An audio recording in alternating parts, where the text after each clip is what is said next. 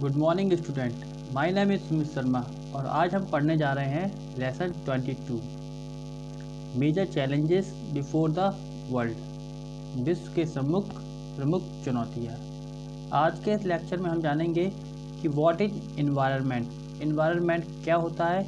And how does it get polluted और ये किस प्रकार प्रदूषित होता है? How does polluted environment effect humanity कैसे एक प्रदूषित वातावरण मानवता को प्रभावित करता है। What is the meaning of globalisation and what are its bad effect globalisation का अर्थ क्या होता है और इसके बुरे प्रभाव कौन कौन से हैं? वॉट इज़ टेररिज्म आतंकवाद क्या है? Why is it a threat to the world ये विश्व के समझ खतरा क्यों है? तो इन तो लेट्स बिगेन वर्तमान समय में सभी देश एक दूसरे पर निर्भर हैं। वे एकाकी नहीं रह सकते। उनकी नीतियाँ अंतर्राष्ट्रीय परिस्थितियों से निर्देशित व प्रभावित रहती हैं। अनेक समस्याएँ ऐसी हैं जिनका सामना सभी देशों को समान रूप से करना पड़ता है। ये समस्याएँ विश्वव्यापी हैं। यदि कोई राष्ट्र इनके समाधान के लिए एकाकी प्रयास करते हैं तो वे उसमें अधिक सफल नहीं हो पाएँगे। इनका समाधान करने के लिए सभी देशों को संयुक्त रूप से प्रयास करना चाहिए।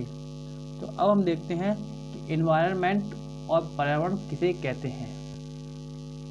इन्वायरमेंट और पर्यावरण। The word paryavaran is made up of two word परि धन आवरण। तो पर्यावरण शब्द है, दो शब्दों से मिलकर बना है। परि और आवरण। Pari stand for all sides and avaran means surrounding परि का अर्थ होता है चारों दिशाओं से और आवरण का अर्थ होता है घेरे हुए। अर्थात a cover which surround us from all side is called paryavaran और इन्वायरमेंट अर्थात, वह आवरण जो हमें चारों ओर से घेरे हुए है, उसे हम पर्यावरण या इन्वायरमेंट कहते हैं। Environment is the mixture of several factors पर्यावरण अनेक कारणों का सम्मिश्रण है। एनी एक्सटर्नल फोर्स सब्सटेंस और state that surrounds any creature and affects the life in any form is called factor कोई भी बाहरी बल, पदार्थ या परिस्थिति जो किसी जीव को घेरे हुए हो तथा उसके जीवन को किसी न किसी रूप में प्रभावित करता हो, कारक कहलाता है। पर्यावरण में दो प्रकार के फैक्टर्स होते हैं। पहला है ऑर्गेनिक फैक्टर्स जिसमें पेड़ पौधे सभी जीव और इंसेक्ट्स आते हैं। दूसरा है नॉन ऑर्गेनिक फैक्टर्स जिसमें वाटर मिनरल सॉइल एयर और सोलर एनर्जी आते हैं। Both factors of environment are different from each other, but are interlinked. Environment के ये दोनों फैक्टर्स एक दूसरे से अलग हैं, लेकिन फिर भी एक दूसरे से जुड़े हुए हैं। In the natural condition the life of a creature is not affected by a single factor but all the environmental factors together affect it प्राकृतिक परिस्थितियों में जीव का जीवन किसी एक कारक से प्रभावित न होकर समस्त पर्यावरणीय कारकों के योग से प्रभावित होता है। These factors affecting the creature also leave an impact on each other ये कारक जीव को प्रभावित करने के साथ साथ परस्पर एक दूसरे को भी प्रभावित करते हैं।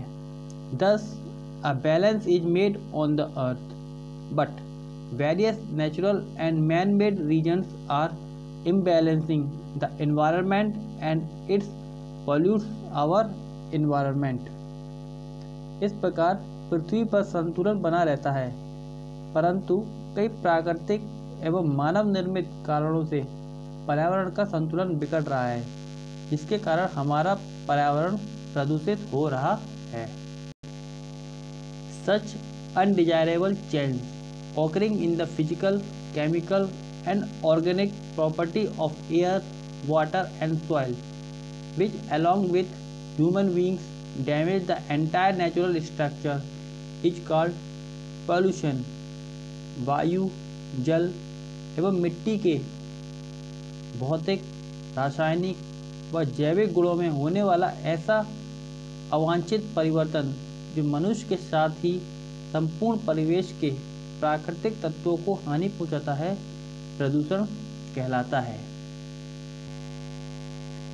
टाइप्स ऑफ़ पॉल्यूशन प्रदूषण के प्रकार। पहला है वाटर पॉल्यूशन जल ही जीवन है। प्रकृति ने मानव को सतही एवं भूमिगत जल के रूप में असीमित जल के भंडार दिए हैं, लेकिन मानव निरंतर अपनी क्रियाओं द्वारा जल को प्रदूषित कर रहा है। जल प्रदूषण वह स्थिति है जिसमें जल के फ़िज़िकल केमिकल एंड जैविक गुणों में नकारात्मक परिवर्तन हो जाता है तथा जल मानव समुदाय तथा जीव जंतु व वनस्पति जगत पर अपना हानिकारक प्रभाव डालने लगते हैं। अब देखते हैं सोर्सेज ऑफ़ वाटर पोल्यूशन यानी जल प्रदूषण को के कारण या स्रोत? सबसे पहले नेचुरल सोर्सेज यानी कि प्राकृतिक स्रोत। कुछ प्राकृतिक पदार्थ भी जल को प्रदूषित करते हैं। इनमें विभिन्न गैसें, मृदा, खनिज, वनस्पति, मृत जीव जंतु आदि हैं। परंतु मिट्टी अपदन से भी जल प्रदूषित होता है। दूसरा है ह्यूमन सोर्सेज यानी कि मानव स्रोत। वर्तमान समय में जल प्रदूषण का प्रमुख स्रोत मानवीय क्रियाकलाप ही है। नगरीकरण, कृषि, औद्योगिक, सामाजिक एवं धार्मिक गतिविधियों के कारण अनेक प्रकार के प्रदूषक जल को प्रदूषित करते हैं। मानव द्वारा जल प्रदूषण के प्रमुख कारण निम्नलिखित हैं। पहला है एक्सक्रेटा यानी कि मल। The stool and urine emanating from residential and public toilets are directed into rivers and water resources यानी घरों से और पब्लिक टॉयलेट से निकलने वाला मल और मूत्र। ये डायरेक्ट नदी में या किसी वाटर रिसोर्स में डाल दिया जाता है। दूसरा है होम वेस्ट यानी घरेलू अपमार्जक soaps and detergents are use in the cleaning of utensil at homes and hotels. Soap is washing floor and cloth. साबुन और डिटर्जेंट का यूज़ घरों में या होटल्स में बर्तन साफ़ करने में इस्तेमाल किया जाता है इसके अलावा साबुन का उपयोग फ्लोर को और कपड़ों को साफ़ करने में भी किया जाता है जब ये गंदा पानी किसी वाटर रिसोर्स में पहुँचता है तो उसको ये गंदा कर देता है। तीसरा कारण है इंडस्ट्रियल वेस्ट यानी कि औद्योगिक अपशिष्ट। Different industries are the major source of water pollution बहुत सारी विभिन्न जो उद्योग हैं, वो जल प्रदूषण के प्रमुख स्रोत हैं। The water flowing from industry contain a lot of fatal chemical substance उद्योगों से निकले जल में अनेक घातक रासायनिक पदार्थ मिले होते हैं। This polluted water is directly flown into the river ponds, etc. ये जो पॉल्यूटेंट होते हैं, यानी प्रदूषक होते हैं, वो नदी में या फिर तालाब में डायरेक्ट ही छोड़ दिए जाते हैं। देखते हैं इफेक्ट्स ऑफ़ वाटर पोल्यूशन यानी कि जल प्रदूषण के प्रभाव।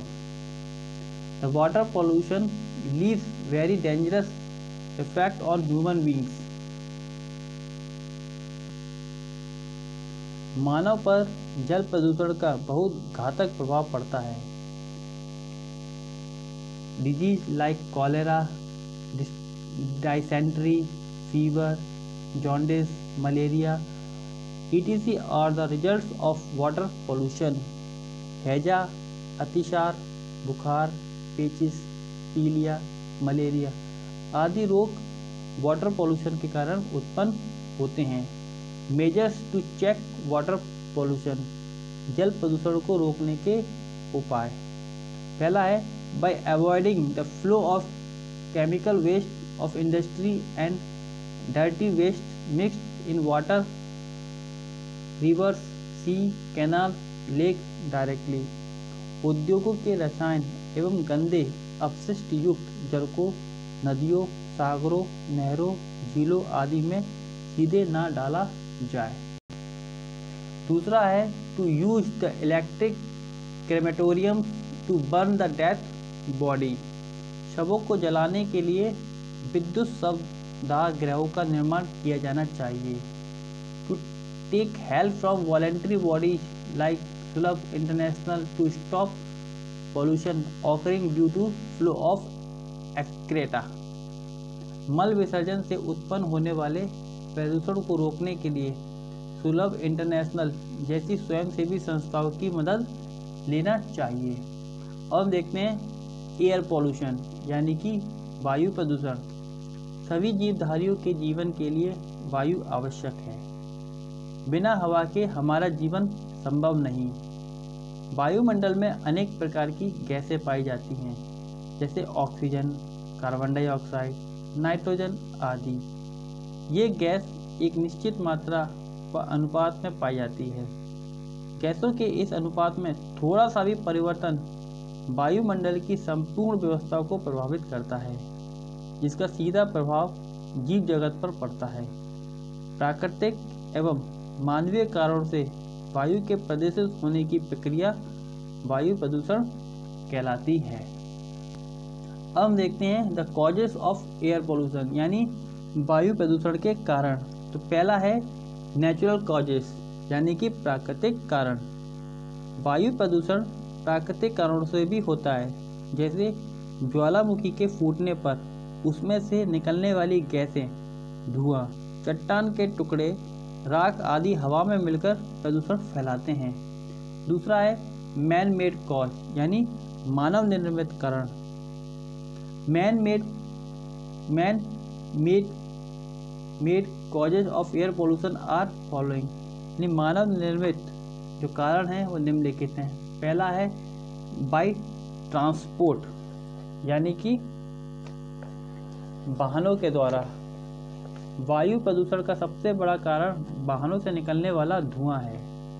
इस धुएँ में विभिन्न प्रकार की जहरीले गैसें होती हैं, जो वायु को प्रदूषित करती हैं। दूसरा है बाई इंडस्ट्री, यानी उद्योगों द्वारा।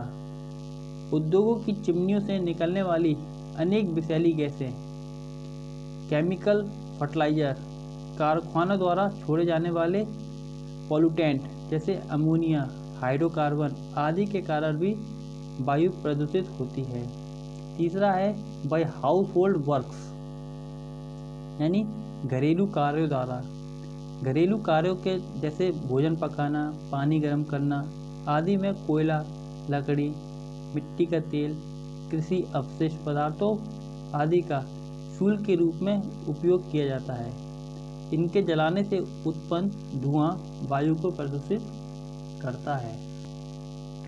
इफेक्ट्स ऑफ़ एयर पोल्यूशन यानी वायु प्रदूषण के प्रभाव। वायु प्रदूषण का सर्वाधिक प्रभाव मनुष्य के रेस्पिरेटरी सिस्टम पर पड़ता है।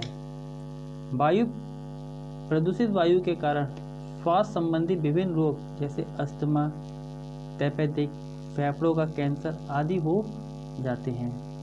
Measures to check air pollution यानी वायु प्रदूषण को रोकने के उपाय। वायु प्रदूषण आज एक भीषण समस्या बन चुकी है। शुद्ध वायु के अभाव में मानव जीवन असंभव है।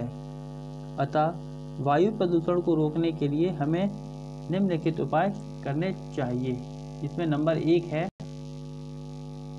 construction of chimney in plants should be very high and to be inspected by pollution control board यानी जो उद्योग धन उद्योग होते हैं उनमें चिमनियाँ बहुत ऊंचाई पे बनाना चाहिए और पॉल्यूशन कंट्रोल बोर्ड के द्वारा उनका निरीक्षण करना चाहिए।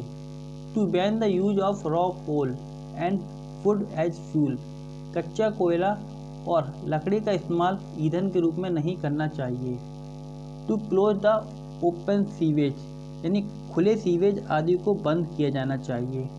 दूसरा है to make the people aware and deforestation be checked जनमानस में जागरूकता लाई जाए तथा वनों को काटने से रोका जाए।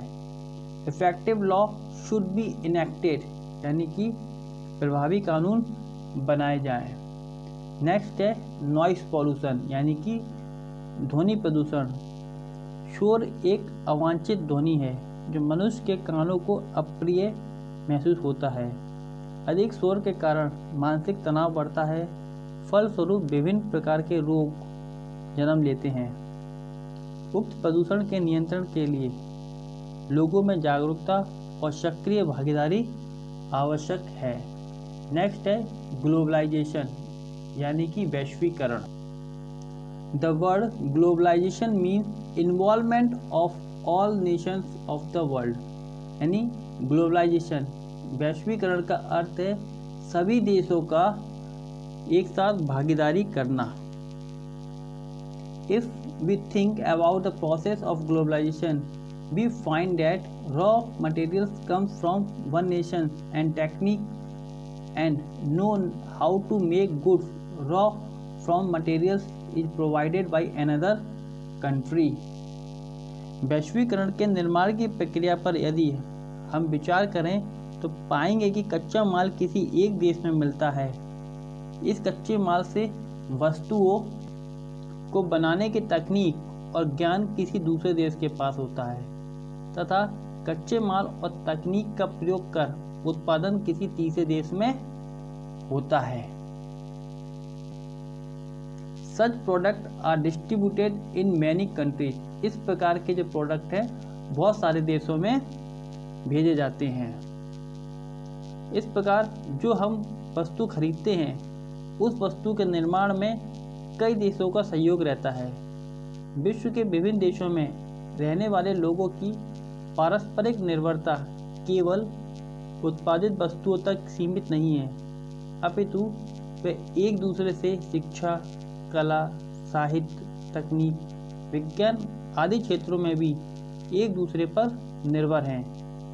देशों और लोगों के बीच व्यापार, पूंजी निवेश, यात्रा, टूरिज़्म खेलकूद और अन्य प्रकार के माध्यमों से भी विभिन्न अंतक्रियाएँ होती हैं। ये वैश्वीकरण के परिचायक हैं।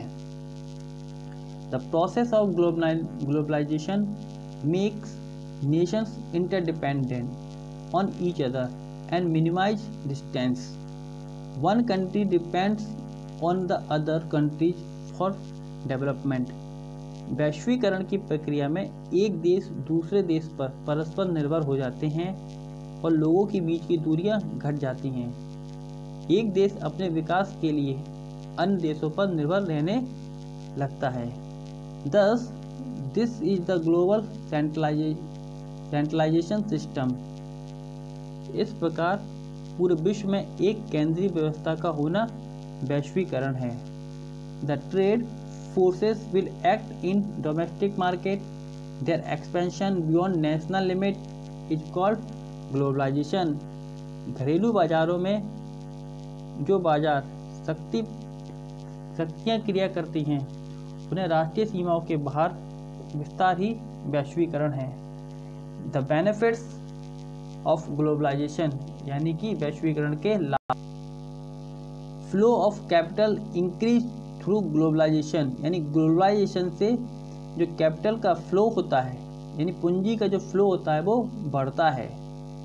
Increase in the international production अंतर्राष्ट्रीय उत्पादन में वृद्धि होती है। और तीसरा है the growth of international corporation and competition अंतर्राष्ट्रीय सहयोग और प्रतियोगिता का विकास होता है।